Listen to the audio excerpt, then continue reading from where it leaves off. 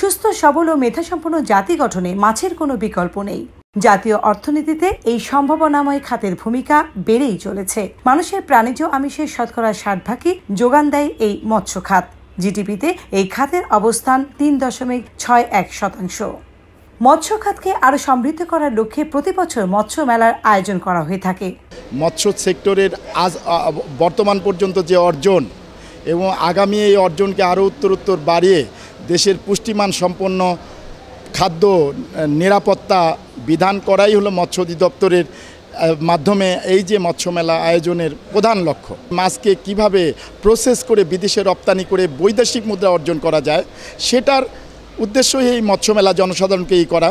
সেই উদ্দেশ্যে এই মৎস্য সেক্টরে দেশি বিদেশি এই এনজিও জিও যেসব সেক্টরগুলো এই করছে প্রায় তেইশটা মানে সংস্থা এই মেলায় অংশগ্রহণ করেছে।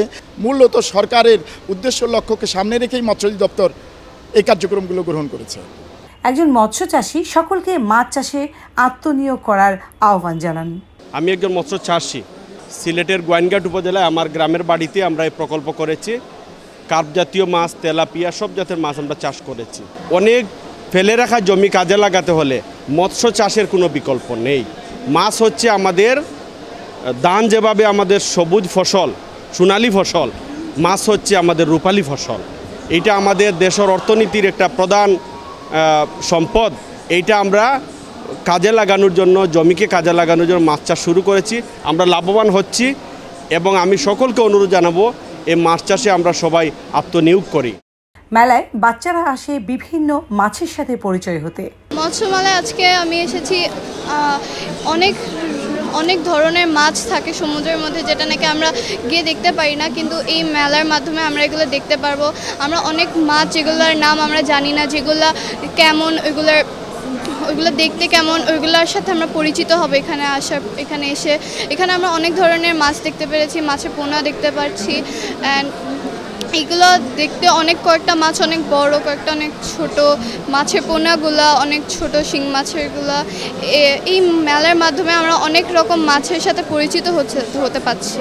তো যেহেতু মাছে ভাতে বাঙালি, তাই আমি এখানে বিভিন্ন রকম মাছ দেখতে এসেছি। তো মাছ খেতে অনেক ভালোবাসি, তাই বিভিন্ন রকম মাছের সাথে পরিচয় হতে এসেছি। এখানে বিভিন্ন সামুদ্রিক মাছ আছে, তো সব কিছু মিলিয়ে ভালোই লেগেছে আমার। গত দশ বছরে মৎস্য খাতের উৎপাদন আটান্ন দশমিক তিন পাঁচ শতাংশ বৃদ্ধি পেয়ে দাঁড়িয়েছে তেতাল্লিশ লাখ মেট্রিক টনে। মাছের গুণগত মান রক্ষণাবেক্ষণ এবং বাজারজাতকরণের জন্য উদ্যোগ নিয়েছে সরকার। মৎস্য অধিদপ্তরের মহাপরিচালক বলেন, বদ্ধ ঘরের মধ্যে কীভাবে মাছ চাষ করা যায়? আমরা টোটাল অ্যাকোয়াকালচারটাকে আমরা একটু অন্য ভিন্ন মাত্রায় আমরা যেটা ইনডোরেও যেন আমরা করতে পারি, অর্থাৎ দশতলা একটা বিল্ডিংয়ের নিচে রিসাইক, সার্কুলেটিং অ্যাকোয়াকালচার সিস্টেম, আমরা পানিটা আবার পরিশোধন হবে, আবার সার্কুলার ট্যাঙ্কে আসবে, অ্যারেশন থাকবে, ফিড হবে, দূষিত পানিগুলো আবার ফিল্টার্ড হবে, ফিল্টার্ড হয়ে আবার সেই ফ্রেশ ওয়াটারটাকে আবার ট্যাঙ্কে আসবে।